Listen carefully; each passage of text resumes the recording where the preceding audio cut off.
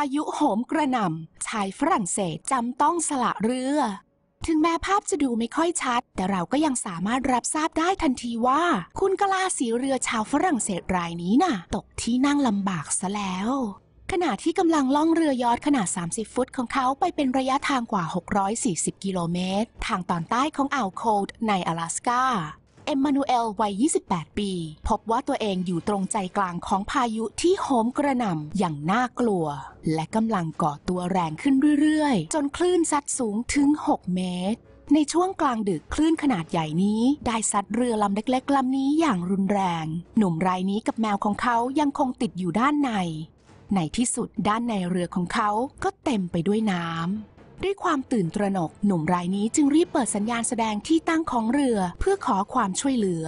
พนักงานบนเครื่องบินได้ส่งสัญญาณต่อไปยังเรือในบริเวณใกล้เคียง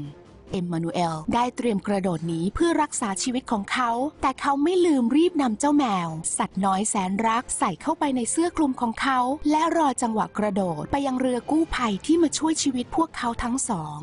ทั้งคนทั้งแมวคู่นี้รอดไปได้ แต่เรือของเขาน่ะ ถูกกลืนลงใต้มหาสมุทรไปซะแล้ว